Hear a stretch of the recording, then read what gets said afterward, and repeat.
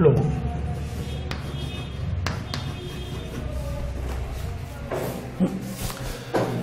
Fluid mechanics के अंदर देखें भाई फ्लूड मैकेनिक्स के अंदर हम लोग फ्लूड के बारे में पढ़ने जा रहे हैं और जो फ्लूड है वो कुछ भी है जो फ्लो कर सकता है।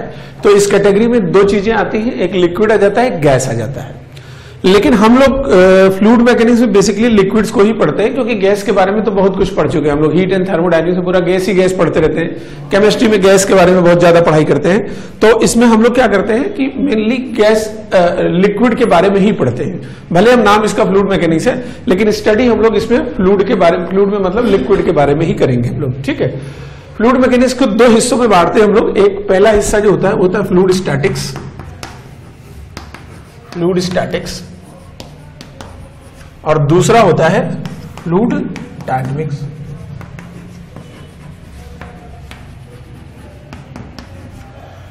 पहला है फ्लूड स्टैटिक्स और दूसरा है फ्लूड डायनेमिक्स। ठीक है? ये दो इसके टुकड़े होते हैं, फ्लूड स्टैटिक्स और फ्लूड डायनेमिक्स। अब सबसे पहले हम लोग जो है फ्लूड स्टैटिक्स पढ़ेंगे और फ्लूड स्टैटिक्स में हम लोग स्टेशनरी लिक्विड के बारे में पढ़ेंगे और फ्लूड डायनेमिक्स में हम मूविंग लिक्विड के बारे में पढ़ेंगे। थोड़ा सा मैं फ्लूड स्टैटिक्स को और अच्छे से समझा दूँ। फ्लूड स्टैटिक्स में बेसिकली हम लोग क्या पढ़ेंगे, जब जो लिक्विड होगा, जब कंटेनर के रिस्पेक्ट में स्टेशनरी होगा तो वो जी एनालिसिस है वो फ्लूड स्टैटिक्स में आती है। जैसे मान लो किसी बाल्टी में पानी भर के रखा हुआ है तो वो फ्लूड स्टैटिक्स में आ गया। अब वही बाल्टी में पानी भर के रखा हो लिफ्ट में रखा है लिफ्ट ऊपर जा रही है, तब ये फ्लूड स्टैटिक्स में आ गया डायनेमिक्स में आएगा। तब भी स्टैटिक्स में ही आएगा। फ्लूड स्टैटिक्स में हम उस, उन लिक्विड्स को पढ़ते हैं जो कंटेनर के रिस्पेक्ट में स्टेशनरी रहते हैं। और फ्लूड डायनेमिक्स में हम उन लिक्विड्स को पढ़ते हैं जो कंटेनर के रिस्पेक्ट में मूव करते हैं। मतलब ये आपको समझना है कि फ्लूड स्टैटिक्स में जो कंटेनर है उसके रिस्पेक्ट में लिक्विड स्टेशनरी रहता है। ठीक है? तो मैं यहाँ लिख भी देता हूँ in fluid statics in statics liquid remains stationary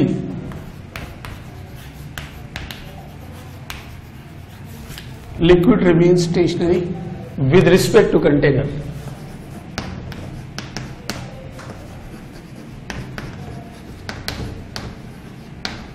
In statics liquid remain stationary with respect to container और डायनेमिक्स में लिक्विड जो है वो कंटेनर के रिस्पेक्ट में मूव करता है।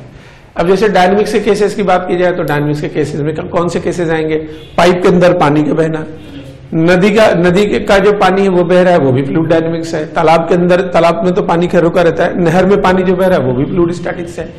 सिरिंज जो डॉक्टर इंजेक्शन लगाते हैं, वो भी सॉरी वो फ्लूड डायनेमिक्स है।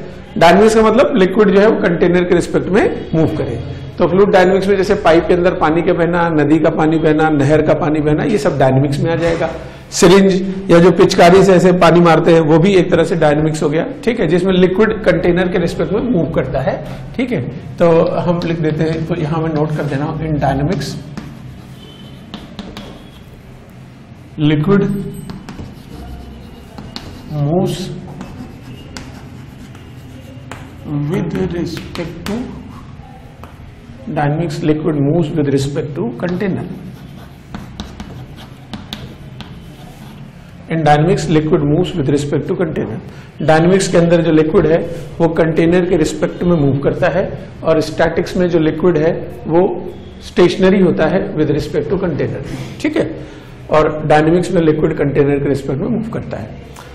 अब आ, भाई फ्लूड तो तरह तरह के होते हैं तरह तरह की उनकी प्रॉपर्टीज़ होती हैं, लेकिन जो फ्लूड हम लोग पढ़ेंगे, जो हमारे सिलेबस में है, उसकी कुछ स्पेशल प्रॉपर्टीज़ होती हैं। कुछ खास प्रॉपर्टीज़ होती हैं, या कुछ एजम्पन्स होते हैं उस फ्लूड के, जिसको हम लोग एज्यूम करेंगे, और हम हम जो फ्लूड स्टडी करने जा रहे हैं, उस, वो एक पर्टिकुलर टाइप का फ्लूड है।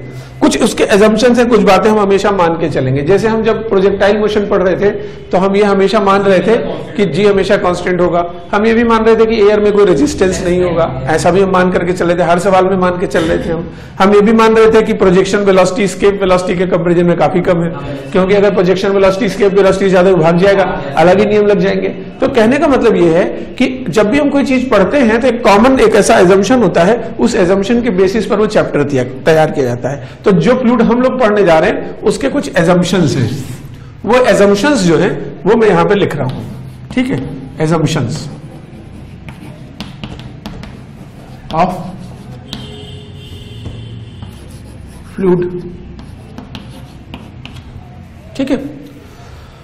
कुछ ऐसे कॉमन एजम्पन्स हैं, जिन एजम्पन्स के साथ हम लोग काम करेंगे और हर सवाल में वो चीज़ें मान करके चलेंगे। बोले ना बोले, लेकिन हमेशा हम ये मान के चलेंगे। पहला एजम्पन जो है, वो ये है कि जो लिक्विड हम लोग स्टडी करने जा रहे हैं, जिस भी लिक्विड को स्टडी करने जा रहे हैं, वो इनकम्प्रेसिबल है। इनकम्प्रेसिबल का मतलब ये है कि हम फोर्स लगा के उसको दबा नहीं सकते इनकम्प्रेसिबल है, उसकी, उसका, उसको फोर्स लगा के कंप्रेस नहीं कर सकते। जैसे इसका, इसको मैं ऐसे समझा दूँ। पहले तो मैं बात बता देता हूँ। The liquid liquid assumed is incompressible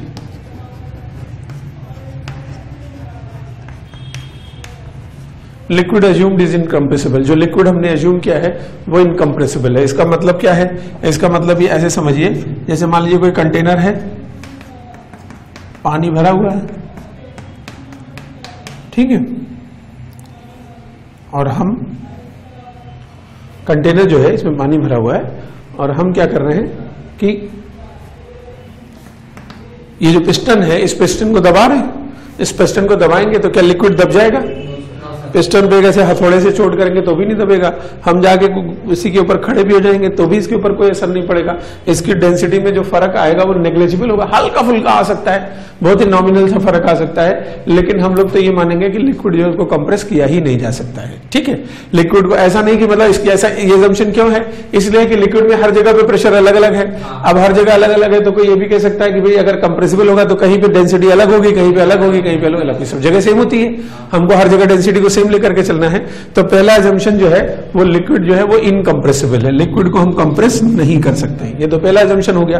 दूसरा एजम्पन ये है the liquid assumed is non viscous liquid assumed is non viscous liquid assumed is non viscous non viscous का मतलब जैसे आप ये समझो फ्रिक्शन लेस होता है। विस्कोसिटी जो है लिक्विड्स का फ्रिक्शन होता है। तो जो लिक्विड होता है, वो जिसको हमने एज्यूम किया, वो नॉन विस्कस है। ऐसे थोड़ा बहुत फ्रिक्शन होता है लिक्विड्स में, लेकिन वो फ्रिक्शन इतना कम होता है कि हम लोग ऐसा मान सकते हैं कि जो लिक्विड है, जो भी लिक्विड हमने एज्यूम किया है, वो नॉन विस्कस है। इस बात को कुछ इस तरह से आप समझिए। ठीक है? जैसे समझिए कि कोई एक नाव है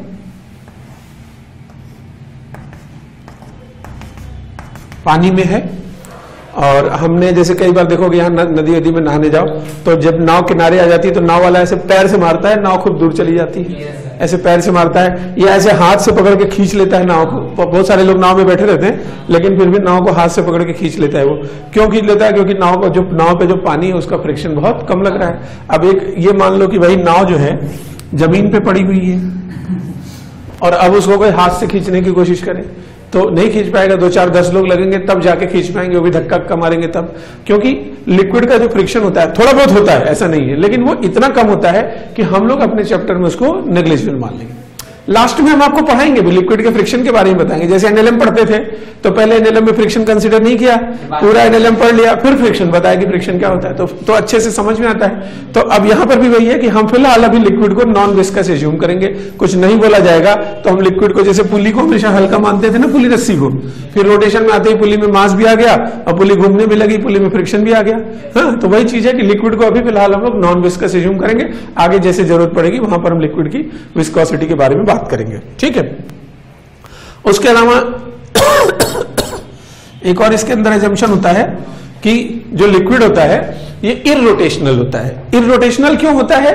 इसका कोई मतलब इस ये मतलब आगे की बात है ये अपने सिलेबस की बात नहीं है। लेकिन इरोटेशनल का मतलब मैं बता दूँ हम जो लिक्विड पढ़ते हैं वो लिक्विड जो होता है वो रोटेट नहीं करता है। कई बार ऐसा देखो अगर मान लो बारिश आरिश का मौसम है और नदी बहुत तेज़ी से बहती हुई जा रही है या कोई नाला ताला नाला बहुत तेज़ी से बह रहा है तो उसके अंदर लिक्विड ऐसे जाते जाते से घूम जाता है पानी। भवर पड़ना जिसको कहते हैं। हाँ। तो वो बेसिकली इसलिए घूमता है क्योंकि विस्कस होता है। विस्कोसिटी के कारण ही कहीं ज़्यादा फोर्स लग गया टेंजेंशियल कहीं कम लग गया तो वो घूम गया। तो लेकिन चूँकि विस्कोसिटी हम इग्नोर करते हैं। तो विस्कोसिटी है ही नहीं तो अब विस्कोसिटी नहीं है तो फिर लिक्विड को कोई रोटेट नहीं करा सकता। तो हम लोग जो लिक्विड एज्यूम करते हैं, वो इरोटेशनल होता है। ठीक है? The liquid is assume to be irrotational the liquid is assume to be assumed to be irrotational.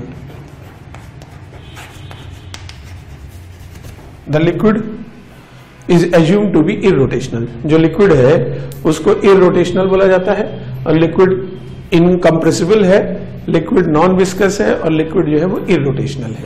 ठीक है? ऐसा इसके बारे में बताया गया है। तो ये लिक्विड की कुछ कुछ एजम्पन्स थे। जिन एजम्पन्स के साथ हम लोग बात करते हैं। एक और इसके अंदर एजम्पन आता है जो मैं आगे आपको बताऊँगा, लेकिन यहाँ पे नोट में करा देता हूँ।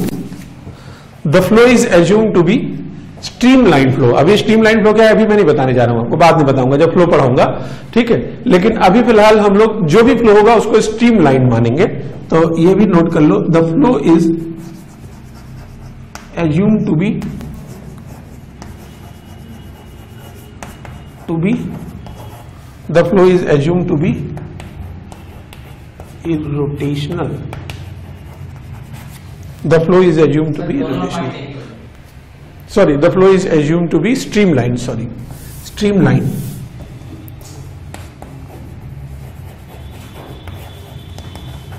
The flow is assumed to be streamlined. जो फ्लो है, उसको हम लोग स्ट्रीमलाइन मान करके चलते हैं, ठीक है? स्ट्रीमलाइन फ्लो मान करके हम काम करेंगे। अभी हम लोग बात करने जा रहे हैं प्रेशर के बारे में। प्रेशर जो फ़िज़िकल क्वांटिटी है, उसका महत्व आपको मैं समझाऊं। आप ऐसा समझो कि जो मैकेनिक्स के अंदर जो रोल फोर्स का है, ठीक है, वही रोल फ्लूड मैकेनिक्स के अंदर प्रेशर का है। जब जैसे मैकेनिक्स के अंदर हर क्वेश्चन में फोर्स किसी न किसी फॉर्मेट में आएगा, उसी तरह से फ्लूड मैकेनिक्स के अंदर हर क्वेश्चन में प्रेशर ज़रूर आएगा। तो अभी तक वैसे प्रेशर जानते तो हम सभी लोग हैं कि प्रेशर क्या होता है, लेकिन अभी प्रेशर के बारे में थोड़ा सा डिटेल में बात हम लोग करेंगे। बहुत डिटेल में, विस्तार से चर्चा करेंगे। प्रेशर जो होता है, अगर आप समझे तो जैसे मान लीजिए कि कोई भी सरफेस है इस सरफेस में मान लीजिए फोर्स लग रहा है, यहाँ से यहाँ तक। इस जगह से इस जगह तक एफ़ फोर्स लग रहा है, ठीक है? एफ़ फोर्स इस जगह से इस तक, जगह तक लग रहा है और इसका एरिया ए के बराबर है। तो जो प्रेशर होगा, वो मैं इस तरह लिखूँगा एफ़ परपेंडिकुलर अपॉन ए जो प्रेशर है, वो एफ़ परपेंडिकुलर अपॉन ए है। एफ़ परपेंडिकुलर में क्यों बोल रहा हूँ? इसको समझिएगा सब लोग अच्छे से। ये एफ़ परपेंडिकुलर अपॉन ए है. एफ़ परपेंडिकुलर का मतलब फोर्स का वो कंपोनेंट जो सरफेस के परपेंडिकुलर है. जैसे ऐसे समझिए आप कि जैसे ये है, मान लीजिए। ऐसे मैं समझा रहा हूँ। मान लीजिए यही फोर्स में ऐसे लगाता। एरिया यही रहता, लेकिन मैं फोर्स ऐसे लगाता। तो जो फोर्स का ये वाला कंपोनेंट होता, वो प्रेशर थोड़ी पैदा करता। प्रेशर तो ये वाला प्रेशर तो ये वाला कंपोनेंट पैदा करता ना, जो सरफेस के परपेंडिकुलर प्रेशर का हिंदी में बड़ा अच्छा नाम है। हिंदी में प्रेशर को कहते हैं दाब, दबाता है। तो दबाएगा कौन सा फोर्स जो सरफेस के अलोंग लगेगा या सरफेस के परपेंडिकुलर लगेगा जो परपेंडिकुलर होगा वही दबाएगा ना? मतलब प्रेशर जो है वो दबाने वाला फोर्स है। तो जैसे हम जब भी प्रेशर को डिफाइन करेंगे तो प्रेशर फोर्स अपॉन एरिया नहीं होता है। प्रेशर होता है F perpendicular upon area A F perpendicular upon A जहाँ पर एफ़ परपेंडिकुलर फोर्स का वो कंपोनेंट है जो सरफेस के परपेंडिकुलर है। ये बात समझ में आ रही सबको? जैसे कोई ब्लॉक जो है रखा हुआ है, ऐसे। वी वेलोसिटी से जा रहा है, यहाँ वी एम लग रहा है और यहाँ एम लग रहा है? तो अगर मैं इसका प्रेशर निकालूँगा तो प्रेशर में mu M G by A आएगा या एम जी बाई ए आएगा? एम जी बाई ए आएगा ना, क्योंकि जो दबाने वाला है, जो दबाने वाला फोर्स है, वही प्रेशर है। तो प्रेशर जो होता है, वो हमेशा दबाता है कंप्रेस करने की कोशिश करता है। तो ये एफ़ परपेंडिकुलर अपॉन ए है, जहाँ एफ़ परपेंडिकुलर फोर्स का वो कंपोनेंट है, जो सरफेस के परपेंडिकुलर है। तो एफ़ परपेंडिकुलर जो है, वो है component of component of force perpendicular component of force perpendicular to the surface component of force perpendicular to the surface ठीक है? फोर्स का वो कंपोनेंट जो सरफेस के परपेंडिकुलर है, उसे हम लोग एफ़ परपेंडिकुलर कहते हैं और एफ़ परपेंडिकुलर जो है, वो आपका परपेंडिकुलर फोर्स या यूनिट इसका हो जाएगा न्यूटन पर मीटर स्क्वायर ये इसका यूनिट होगा, उसको पास्कल भी कहते हैं हम लोग। और पास्कल और उसमें सब में रिलेशन आपको पता ही है, फिर भी मैं बता देता हूँ। One atm is equal to one point zero one three into ten to the power five pascals या न्यूटन्स पर मीटर स्क्वायर और वन एटीएम जो है, वो इक्वलेंट होता है 76 सेंटीमीटर ऑफ़ एच जी इसके इक्वलेंट होता है या हम इसको कहते हैं seven sixty M of H एच के भी इक्वलेंट होता है। ठीक है? तो ये प्रेशर की अलग अलग यूनिट है। बार और एटीएम एक ही होता है। एक बार बोलते हैं कई बार या बार एटीएम बोलते हैं वो भी एक, एक ही चीज़ होती है। ठीक है? तो प्रेशर की ये यूनिट होती है और प्रेशर जो होता है, अगर आप उसको देखें तो रियल लाइफ में प्रेशर को बहुत जगह पर आप फील कर सकते हैं। प्रेशर का महत्व महसूस कर सकते हैं। तो कुछ ऐसे एग्जाम्पल्स आप सोचें और बताएँ मुझे, जहाँ पर आप प्रेशर के महत्व को महसूस करते हैं, प्रेशर को फील करते हैं जैसे अगर पिन को अगर घूमते हैं तो जैसे वो एरिया बहुत कम होता है बिल्कुल, जैसे जैसे इंजेक्शन होता है इंजेक्शन होता है इंजेक्शन जितना पतला है, देख के उतनी खुशी होती है मन में। ऐसा मन में लगता है कि यार ये मतलब पतला इंजेक्शन है, बच जाएगा। मोटा इंजेक्शन होता है, कई सारे इंजेक्शन होते हैं, जो थोड़े मोटे होते हैं, ज़्यादा वॉल्यूम डालना होता है। तो वो देख के बिल्कुल एकदम ऐसा डर लगता है मन में। पतला पतला है तो क्या होगा कि एरिया कम है? एरिया कम है तो फोर्स लगभग उतना ही लगेगा एरिया कम है तो प्रेशर जो होगा वो ज़्यादा होगा तो आसानी से वो पेनिट्रेट हो जाएगा आसानी से पेनिट्रेट हो जाएगा अंदर चला जाएगा। तो ये एक ऐसा एग्ज़ाम्पल है जहाँ पर हम प्रेशर को फील कर सकते हैं। और प्रेशर के एग्जाम्पल्स कुछ जहाँ पे आप अच्छा प्रेशर मेजर करने का इंस्ट्रूमेंट देखा होगा आप लोगों ने? बैरोमीटर बैरोमीटर कहाँ देखा है आपने? हैं जो टायर में हवा भरते हैं। जो टायर में हवा भरते हैं उसमें भी प्रेशर वो भी प्रेशर मेजर करता है। वो जो टायर में प्रेशर हवा भरते हैं वो भी प्रेशर मेजर करता है। प्रेशर के और भी बहुत सारे एग्ज़ाम्पल हैं कुछ एग्जाम्पल्स मैं आपको बता रहा हूँ। जैसे गोली के आगे का मतलब वो बहुत कम मतलब एरिया कर देते हैं ठीक है। हाँ हाँ। ठीक है सामने का एरिया ऐसा कम कर देते हैं जिससे कि प्रेशर कम लगे घोड़ी आसानी से बढ़ जाए आगे। कार की भी डिज़ाइनिंग जो रेसर कार होती है उनकी डिज़ाइनिंग भी स्ट्रीम इस तरह से करते हैं। ठीक है और एक बड़ा अच्छा एग्ज़ाम्पल है कि जो रेल की पटरियाँ बिछाते हैं तो आप उनकी पटरियों को अगर ध्यान से देखें तो पहले तो रेल की पटरियाँ होंगी, उनके नीचे खूब सारी, खूब सारा मतलब गिट्टी बिछाते हैं। गिट्टी के ऊपर जैसे रेल की पटरियाँ ऐसे हैं तो लकड़ी के स्लीपर्स रखते हैं उनके ऊपर, ठीक है? लकड़ी के ऐसे वो रखते हैं तो कुल मिला जो गिट्टी बिछाने का पर्पज होता है, वो होता है एरिया बढ़ाना। जितना ज़्यादा एरिया होगा उतना ज़्यादा जो प्रेशर की वैल्यू होगी कम होगी तो कम धंसेगी वो।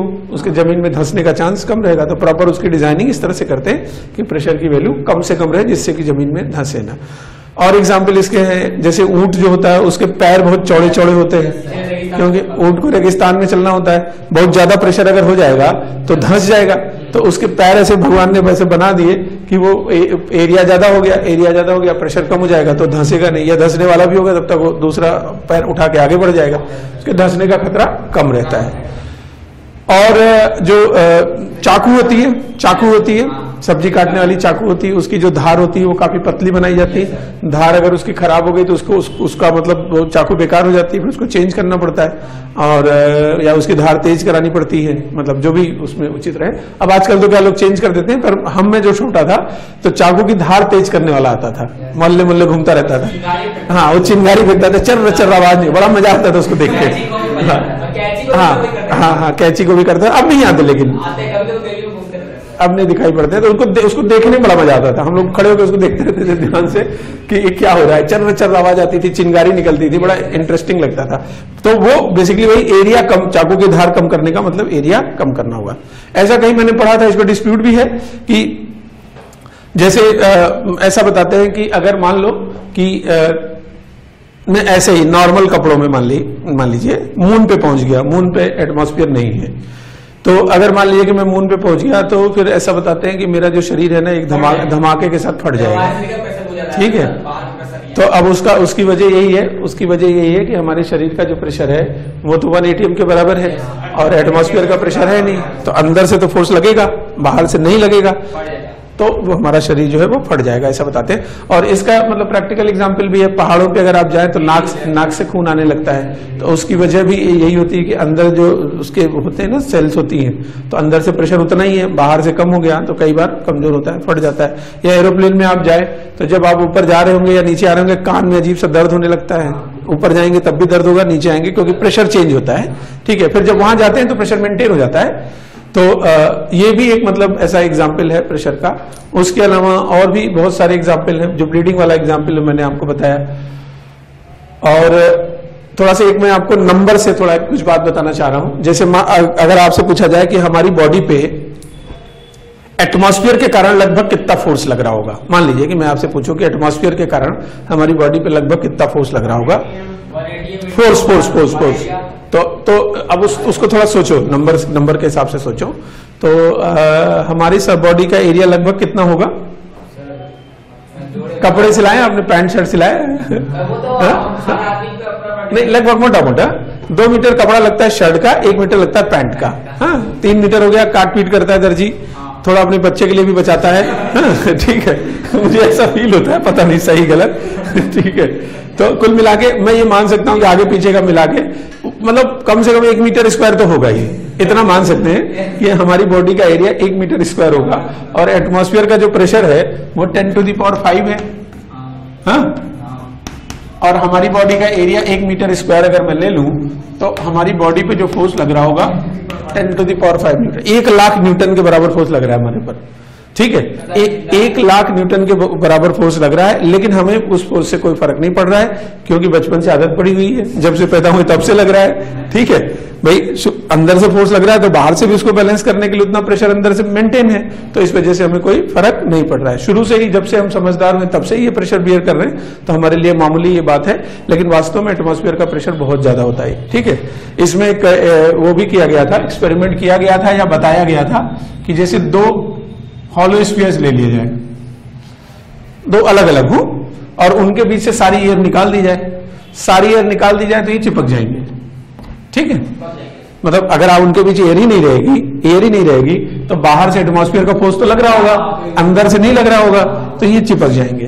तो इनको अलग करने के लिए एक मीटर स्क्वायर इनका डायमीटर बनाया गया था तो इनको अलग करने के लिए दो हाथी लगाए गए दो हाथी एक इधर और एक इधर। ऐसा मैंने देखा है, पता नहीं सच में किया था या स्केमेटिक डायग्राम है। दो हाथी लगाए गए तो भी वो इसको अलग नहीं कर पाए। इसके अंदर इतना ज़्यादा फोर्स आ गया, क्योंकि आप ऐसे सोचो बस सीधी सी बात है कि भाई जैसे मान लेते हैं एक एटीएम प्रेशर है और एरिया लगभग एक मीटर स्क्वायर इसका हो गया हाँ? तो कुल मिला के एक लाख न्यूटन के बराबर फोर्स लग रहा है। अब दो हाथी एक लाख न्यूटन के बराबर फोर्स लगा पाएँगे कि नहीं? मुझे तो डाउट है कि लगा पाएँगे। ठीक है? तो ये जो एटमॉस्फेयर का प्रेशर होता है, हमें महसूस तो नहीं होता, लेकिन इसकी वैल्यू होती बहुत अधिक है। अच्छी खासी वैल्यू इसकी होती है। तो अब ये जो प्रेशर होता है, इस प्रेशर की जो प्रॉपर्टीज़ हैं, वो प्रॉपर्टीज़ मैंने आपको बताई। एक तो भाई ये प्रेशर जो होता है, उसकी वजह से फोर्स होता है, वो हमेशा सरफेस के परपेंडिकुलर होता है। प्रेशर की वजह से जो फोर्स होता है हमेशा बॉडी को दबाने की कोशिश करता है। हमेशा चाहता है कि उसको दबा दे। जिस भी बॉडी पे लगेगा कभी कंप्रेस करना नहीं चाहेगा। किसी बर्तन में पानी रखा हुआ है तो हम पानी को दबा तो भले सकते हैं पानी को पकड़ के खींच नहीं सकते हैं। खींच लेंगे खींच नहीं सकते हैं। मतलब प्रेशर जो होता है वो हमेशा कंप्रेस करने की कोशिश करता है। तो आ, मैं प्रेशर की प्रॉपर्टीज़ लिख देता हूँ। Properties of pressure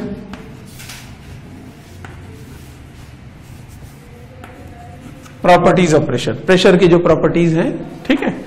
तो प्रेशर की जो भी प्रॉपर्टीज़ हैं, वो प्रॉपर्टीज़ मैं बताने जा रहा हूँ। पहला force due to pressure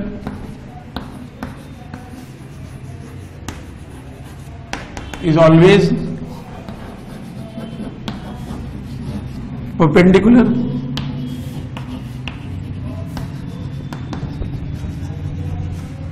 Perpendicular to the surface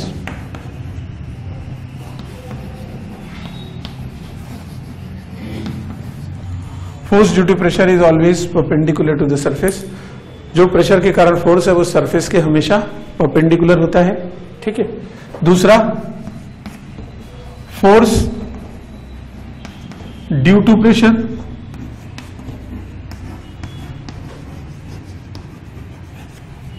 always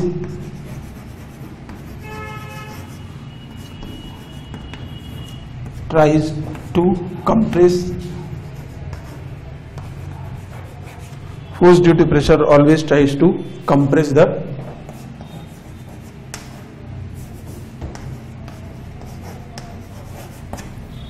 object pressure के कारण जो फोर्स होता है वो हमेशा ऑब्जेक्ट को कंप्रेस करने की कोशिश करता है, ठीक है? परपेंडिकुलर होता है सरफेस के, और हमेशा इसको ऑब्जेक्ट को कंप्रेस करने की कोशिश करता है, और उसके अलावा प्रेशर जो होता है वो आइसोट्रॉपिक होता है। आइसोट्रॉपिक वर्ड जो है, उसका मतलब होता है सेम फ्रॉम ऑल डायरेक्शन ठीक है?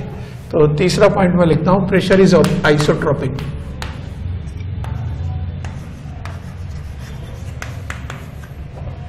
isotropic. Isotropic. That is, same from all directions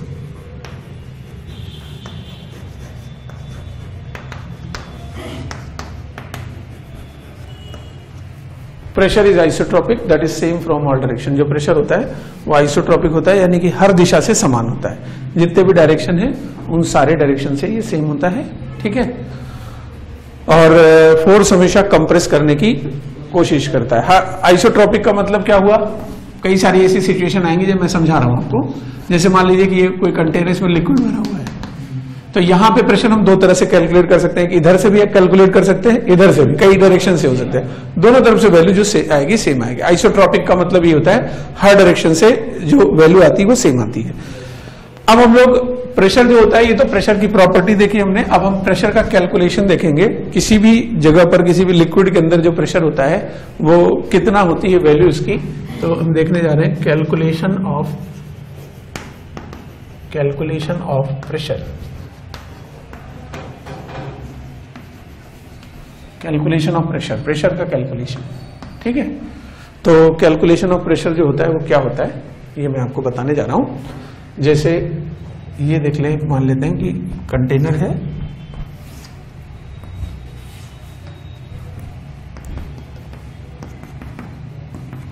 हम्म।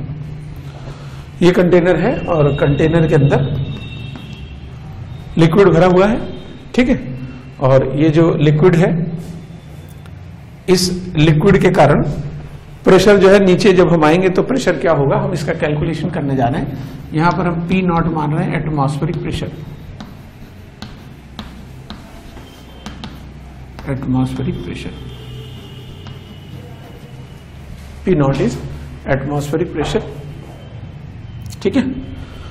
अब जैसे मान लीजिए कि हमें यहाँ पे प्रेशर निकालना है तो यहाँ पे प्रेशर के कैलकुलेशन के लिए हम लोग जैसे देखो न्यूटन लॉ में एफबीडी बनाते थे ना चीज़ों की एफबीडी बना के सॉल्व किया करते थे, वैसे यहाँ भी हम एफबीडी बना के सॉल्व करेंगे। तो अगर हम यहाँ प्रेशर निकालना चाह रहे हैं तो हम यहाँ पर एक पानी का एलिमेंट लेते हैं। ऐसा नहीं कि अलग से कोई हम यहाँ क्यूब लाए हैं। हमने पानी का एक छोटा सा क्यूब कंसिडर कर लिया पा, पानी का ही लिक्विड का ही क्यूब कंसिडर कर सकते हैं। हम इसी के एनालिसिस करना चाह रहे हैं। तो पानी का एक छोटा सा क्यूब कंसिडर किया और इसकी सरफेस से जो गहराई थी वो हमने एच मान ली और इसकी जो मोटाई है उसको हमने डी एच मान लिया। ठीक है? सरफेस से इसकी गहराई एच मान ली और इसकी जो मोटाई है उसको हमने डी एच मान लिया। और अब हम ये जो एलिमेंट था जरा सा छोटा सा एलिमेंट जो हमने लिया है इसकी एनालिसिस करते हैं। इसके ऊपर सारे फोर्सेस देखते हैं। तो इस एलिमेंट को अलग से ड्रॉ कर लेता हूँ मैं।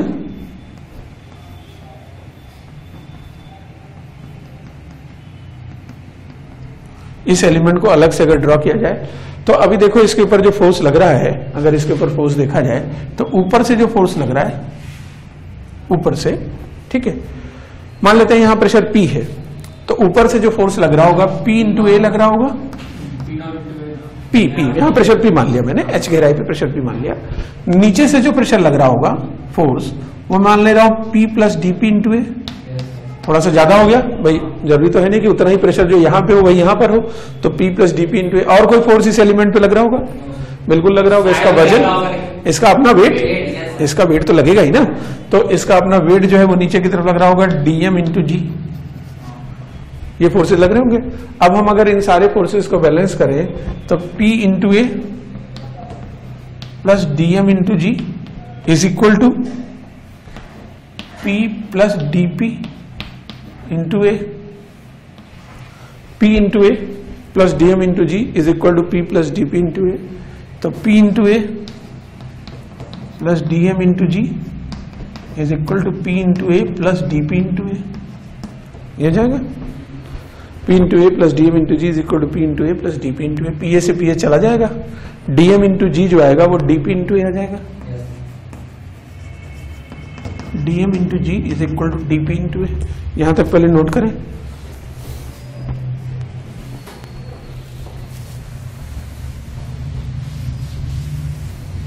ये प्रेशर की प्रॉपर्टीज़ तो नोट कर ही ली होगी ना?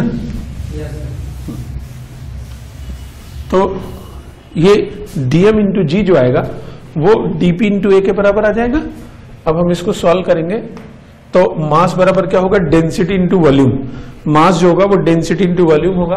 डेंसिटी रो है वॉल्यूम हो जाएगा इसका एडीएच ठीक है? मास बराबर हो गया डेंसिटी इंटू वॉल्यूम डेंसिटी हो गया रो वॉल्यूम हो गया ADH into G is equal to dP into A A से ए चला जाएगा. डीपी इज़ इक्वल हो जाएगा rho G into D H ये डीपी आ जाएगा. ठीक है? अब हम इसको अगर इंटीग्रेट करें तो ये इंटीग्रेशन जाएगा ज़ीरो से एच और ये जाएगा पी नॉट से पी क्योंकि सरफेस पे प्रेशर पी नॉट था हाइट ज़ीरो थी, अभी हम इसको सॉल्व करेंगे। तो सॉल्व करने पे P minus P naught is equal to rho G H हो जाएगा। तो पी इज़ इक्वल हो जाएगा P naught plus rho G H ये फॉर्मूला जाएगा। तो जो भी एच गहराई पे प्रेशर होगा, वो यहाँ पे जो प्रेशर होगा प्लस इतनी हाइट का जो प्रेशर है, ये इसके बराबर जाएगा।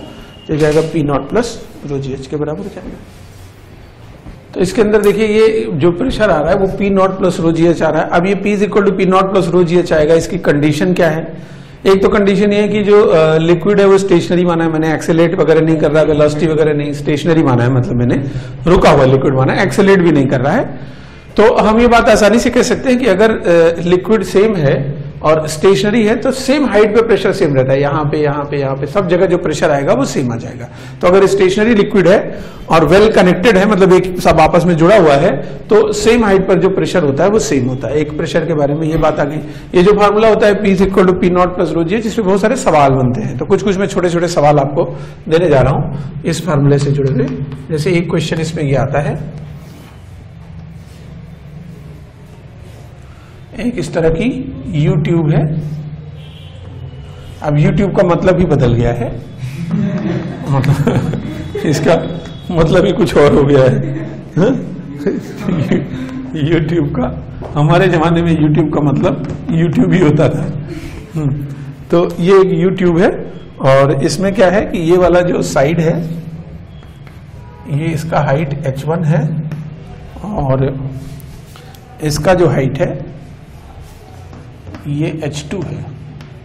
और ये वाला जो लिक्विड है, इसका डेंसिटी है रो वन ठीक है? क्वेश्चन है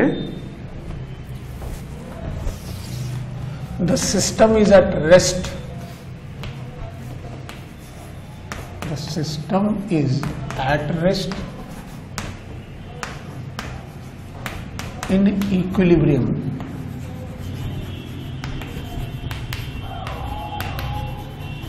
the system is at rest in equilibrium.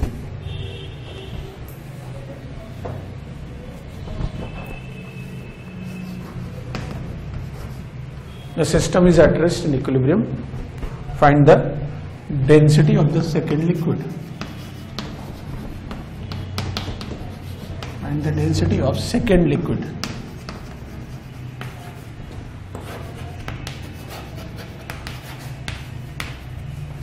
system is at rest in equilibrium. Find the density of the second liquid. ये पूरा सिस्टम जो है वो रेस्ट पर है और इक्विलिब्रियम में है। तो दूसरे वाले लिक्विड की डेंसिटी बताओ।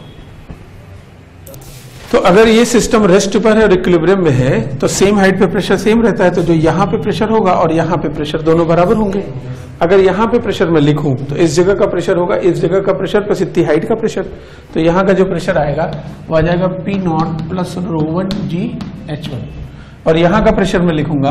तो ये आ जाएगा P naught plus rho two G H two P naught से पी नॉट चला जाएगा और पी नॉट कटने के बाद जी से जी भी कट जाएगा और रो टू की जो वैल्यू आएगी रो टू ये आ जाएगा rho one H one upon H two ये रो टू की वैल्यू आ जाएगी। ठीक है?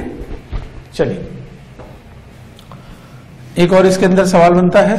देखें, सवाल क्या है? एक कंटेनर है जिसमें गैस भरी हुई है।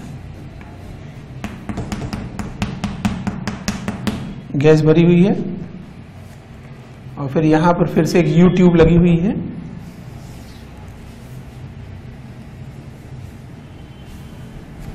ये इस तरह की यू ट्यूब लगी है और ये जो गैस यहाँ भरी, फिर यहाँ एक लिक्विड भी है। इसी यू ट्यूब के अंदर एक लिक्विड भरा हुआ है और ये वाली जो हाइट है ये h के बराबर है। जो लिक्विड है, उसकी डेंसिटी रो के बराबर है। लिक्विड की डेंसिटी रो के बराबर है। ये जो हाइट है, ये एच के बराबर है। तो क्वेश्चन है find the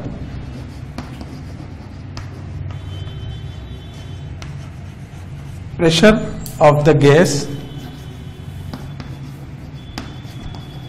if find the pressure of the gas if atmospheric pressure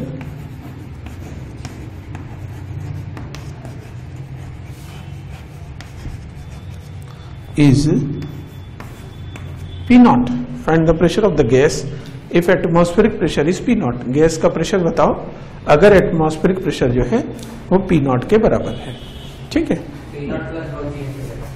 बताएँ तो देखिए, इसके अंदर हम ये जानते हैं ना कि अगर सेम लिक्विड है तो सेम हाइट पे प्रेशर सेम होगा।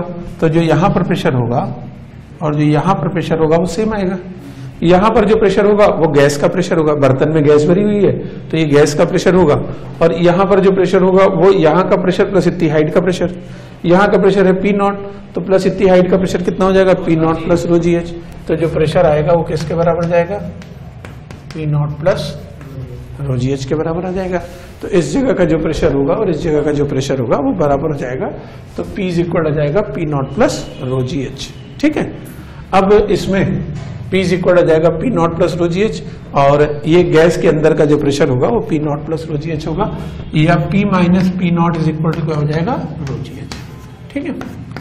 अब यहाँ पर ये जो इंस्ट्रूमेंट है, ये जो आपने देखा ना, इस इंस्ट्रूमेंट को एक विशेष नाम से बुलाते हैं। इसको कहते हैं मैनोमीटर और इसका काम होता है किसी भी गैस का एक्सेस प्रेशर मेजर करना। प्रेशर नहीं नापता ये ये पी थोड़ी नाप रहा है। तो पी माइनस ये क्या नापेगा ये तो हाइट ही देखेगा ना। अब जब इस इंस्ट्रूमेंट को लगाएँगे तो मरकरी का कॉलम राइज करेगा। तो ये नापेगा तो हाइट ही। तो बेसिकली ये जो एक्स्ट्रा प्रेशर है रो जीएच इसको मेजर कर रहा है। तो तो जो मैनोमीटर होता है, हम हम हम कहते हैं कि मैनोमीटर प्रेशर मेजर करता है, पर वास्तव में वो गेज प्रेशर मेजर करता है। गेज प्रेशर का मतलब होता है excess pressure over the surroundings जैसे ज़्यादातर जो इंस्ट्रूमेंट होते हैं, वो गेज प्रेशर ही मेजर करते हैं। जिसमें साइकिल के टायर में हवा डालते हैं, हम लोग बाइक के टायर में हवा डालते हैं, वो जो प्रेशर मेजर करता है, वो कौन सा प्रेशर मेजर करता है? एक्चुअल या गेज गेज मेजर करता है ना? क्योंकि एक्चुअल में तो जैसे नॉर्मल कंडीशन में देखो तो उसका रीडिंग ज़ीरो पे रहता है, लेकिन उसका रीडिंग अगर ज़ीरो पे अगर वो अगर वो एक्सेस प्रेशर नहीं मेजर कर रहा था तो उसका रीडिंग पी नॉट पे होता है ना? पी नॉट पे होता है लेकिन शुरू में उसका रीडिंग ज़ीरो होता है, यानी वो एक्स्ट्रा मेजर करता है गेज प्रेशर मेजर करता है। तो मैनोमीटर जो है, वो गेज प्रेशर को मेजर करता है, और मैनोमीटर जो है, ये ये इंस्ट्रूमेंट जो है इट इज़ कॉल्ड मैनोमीटर मैं लिख भी दे रहा हूँ। The instrument is called manometer. Manometer. And it is used to measure the gauge pressure gauge pressure gauge pressure का मतलब P minus P naught of a gas it is use to measure the gauge pressure P minus P naught of a gas किसी भी gas का gauge pressure measure करने के लिए इसका इस्तेमाल किया जाता है। The instrument is called manometer and it is use to measure the gauge pressure of a gas P minus P naught को ये मेजर करता है। इसका नाम है मैनोमीटर तो ये एक अजब अलग तरह का एक इंस्ट्रूमेंट है। इसके अंदर क्या है, यहाँ पे कोई लिक्विड भरा हुआ है और इस लिक्विड की डेंसिटी रो वन है। और ये वाला जो एंगल है, ये थीटा वन है और ये डिस्टेंस एल वन के बराबर है। हाँ? यहाँ पर एक लिक्विड भरा हुआ है। इस लिक्विड की लंबाई जो है वो L2 है और ये एंगल थीटा टू के बराबर है। ठीक है? इसकी लंबाई L1 है एंगल थीटा वन है, इसकी लंबाई L2 है एंगल थीटा टू है। और यहाँ पर बीच में जो छोटा सा हिस्सा है ना, इसमें गैस भरी हुई है। कौन सी गैस है, ये नहीं बताया, लेकिन एक गैस भरी हुई है। ये यहाँ पे एक लिक्विड भरा है, लंबाई इस कॉलम की लंबाई L1 है डेंसिटी रो है। यहाँ पे एक लिक्विड भरा है, लंबाई L2 है डेंसिटी जो है, वो इसकी रो टू है। डेंसिटी रो टू है, लंबाई L2 है, ये एंगल थीटा टू के बराबर है। ठीक है? अब, इसमें यहाँ पर एक कोई पॉइंट ई है। इस जगह पे, इस सबसे नीचे पॉइंट पे एक कोई पॉइंट ए है। क्वेश्चन लिखें find the pressure of gas at point E. Find the pressure of gas at point E if atmospheric pressure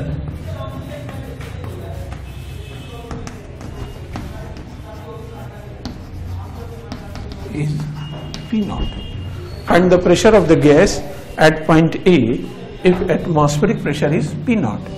A point पे प्रेशर आपको बताना है अगर एटमॉस्फेरिक प्रेशर पी नॉट है ध्यान से देखें ये अंदर ये है थीटा वन ये थीटा टू है, इसकी लंबाई एल टू इसकी डेंसिटी रो टू यहाँ पर कोई गैस भरी हुई है और एटमॉस्फेयर और ये वाला पॉइंट खुला हुआ है। मतलब ऐसा नहीं कि बंद है, खुला हुआ है।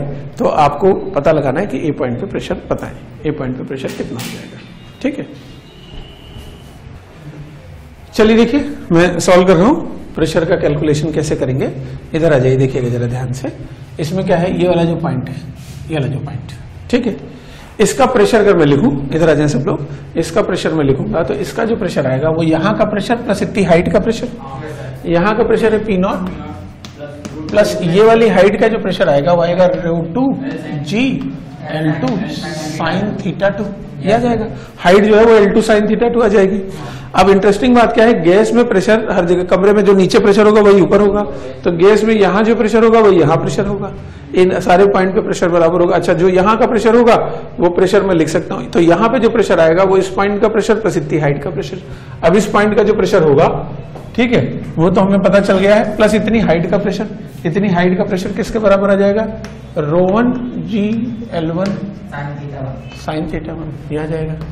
तो अब ये ए पॉइंट का प्रेशर आ जाएगा P naught plus rho one G L one sine theta one plus rho two G L two sine theta two ये आ जाएगा। तो इस तरह से यहाँ का प्रेशर